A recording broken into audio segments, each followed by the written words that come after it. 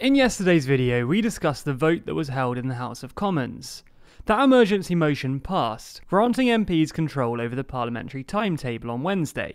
With this power, MPs used the time to debate a bill which would legally prevent Boris Johnson's government from pursuing a no deal Brexit.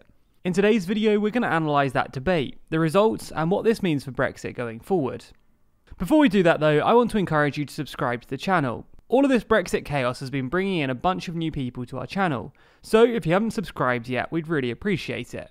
We regularly cover issues related to Brexit as well as UK, European, and global news. So if that sounds like something you'd be interested in, click the subscribe button and the bell icon so you get notified every time we release a video. So before we get into what MPs discussed and how they voted, let's briefly explain what's happening here. As I said at the top, a number of MPs are attempting to stop the government from letting the UK leave the EU without a deal. To do that, they're attempting to pass the Benn Bill. It had its second and third readings in the House of Commons yesterday, which means that it's passing quickly through Parliament. However, Johnson is days away from shutting Parliament down until mid October, so MPs need to act fast if they want to get this done. So, what's actually in the Benn Bill?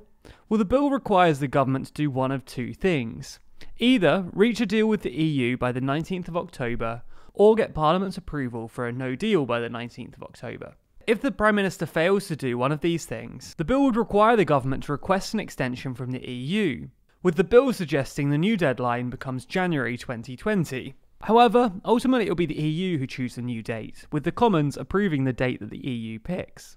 Unsurprisingly, Johnson's government aren't a fan of this. They say that it limits them too much in negotiations, with Johnson saying that it could cut the legs out from underneath the UK's negotiating position.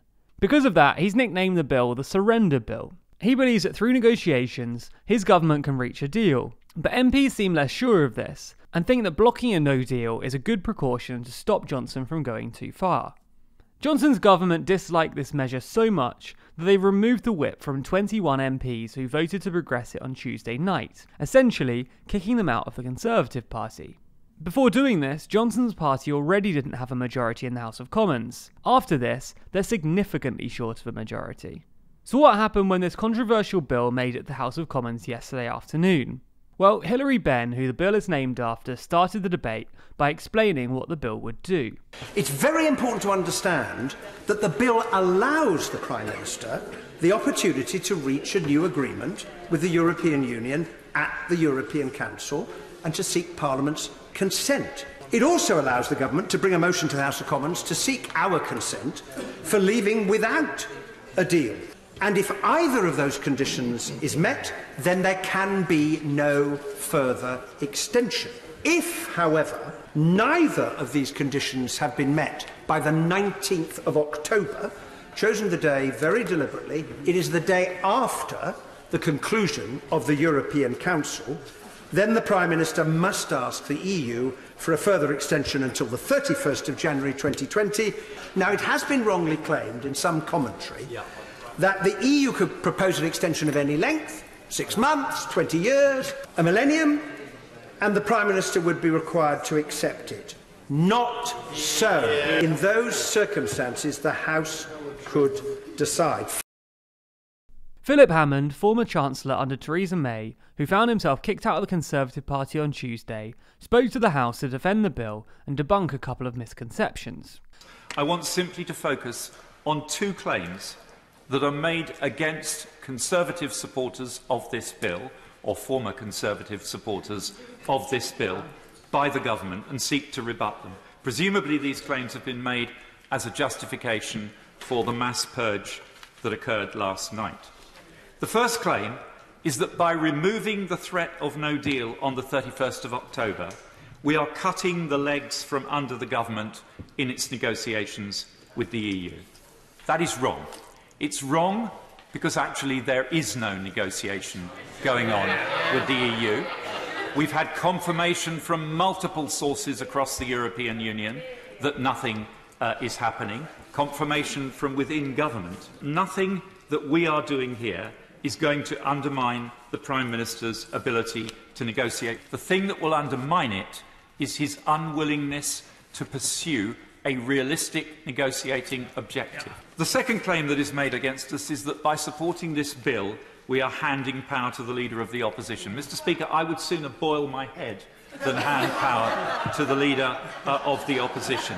Thank you. Uh, Sir Nicholas Soames. I rise to support this bill, but before I do so, I want to make clear that I have always believed that the referendum result must be honoured, and indeed I voted for the withdrawal agreement on every occasion it has been presented to the House, which is more than can be said for my right honourable friend, the Prime Minister, the Leader of the House and other members of the Cabinet whose serial disloyalty has been such an inspiration to so many of us. Mr Speaker, Mr Speaker, I think history, I think history will, in due course, favour the view that a threat to commit an act of self-harm if your counterparts in a negotiation do not do exactly as you wish is not exactly likely to be an effective or successful negotiating strategy.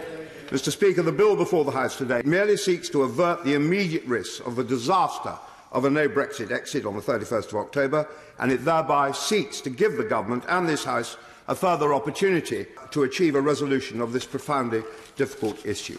Then it came to the vote on the bill's second reading. If you're confused by this series of readings, committees, and, and the ping ponging a bill does before its passage, we have a video about how bills are passed down below. Order! Order! The ayes to the right, 329. The noes to the left, 300. So the ayes have it. The ayes have it. Unlock. Order! So the bill passed on to its second reading by some margin. There was one new Tory rebel, Dame Caroline Spelman, but one report suggests that unlike other rebels, this won't threaten her career as a Conservative MP. After this vote, a number of amendments were proposed, and one managed to pass, the Kinnock Amendment. But this happened under very strange circumstances. The House divided for a vote, and MPs went to the voting lobbies as normal. Division, clear the lobbies. But then a few minutes later, the vote was cancelled as there weren't any tellers, the MPs who count the votes, in the no lobby. Order! Division off. The division is now off. Fantastic. This meant that by default the amendment passed. This is highly unusual, with the BBC's Laura Kuenssberg commenting that the amendment seems to have passed by mistake, adding that things were getting very odd. SNP politician Owen Thompson responded, saying that it was very likely a deliberate move by the government. Regardless, the amendment passed, and it means that if Johnson were forced to ask for an extension, then the official government policy becomes that he is asking for an extension in order to pass May's deal. As The Guardian puts it, effectively that means that any Brexit delay wouldn't be a blind delay. It would be a delay to enable a version of May's deal to go through. As James Forsyth from The Spectator commented, this means that the deal got further after this amendment than it did at any point when May was actually in office. Then, after being amended, the bill moved on to its third and final reading in the House of Commons. Order! Order! The ayes to the right, 298. The noes to the left, 56. The ayes have it. The bill passed this round by 28 votes, one less than the second reading. This means that the bill had now passed through the Commons, but it wasn't a done deal yet. It still had to make it through the Lords in time. As we mentioned in previous videos, the Lords doesn't have the same filibuster rules as the Commons, meaning that Lords are more able to debate legislation endlessly. Some are concerned that pro Brexit Lords would do exactly that, running down the clock until prorogation and never passing the bill. While debate did go on long into the night, at around 1.30am, peers agreed to a business motion which states that the bill will be returned to the House of Commons by 5pm Friday. My Lords, there have voted content 64, Not content 242, so the not contents have it. My Lords, uh, I'm pleased to say we've uh, concluded our usual channels conversations and subject to confirmation by the leader of the opposition, we have agreed that the current business of the House motion will be adjourned today and a new motion will be tabled tomorrow to allow the bill to complete all stages in this House by 5 pm on Friday, the 6th of September. This effectively rules out a potential filibuster, with a commitment to get the bill back to the Commons on time. Once returned to the Commons, MPs will vote one last time on the bill on Monday, before being sent for royal assent and passed into law. This means that the bill is all but a done deal, with the Commons almost certain to pass the bill into law at the first opportunity on Monday. Another big vote also happened last night when Johnson proposed a general election, and MPs voted against the idea. We'll be discussing that in detail in the latest episode of our podcast, Too Long Didn't Read, set to release at around 1pm today. Find the podcast on YouTube or in your favourite podcast app. There's links to both in the description. We'll continue to keep you updated on this bill, the possibility of an election, and everything else, so make sure you're subscribed to the channel. Also, you can hit the bell icon to be notified every time we release a video. And if you want to find more from TLDR, you can find us across all social networks simply by searching for TLDR News. And if you want your name at the end of the videos, just like these people, then be sure to back us on Patreon. There's a link to that in the description.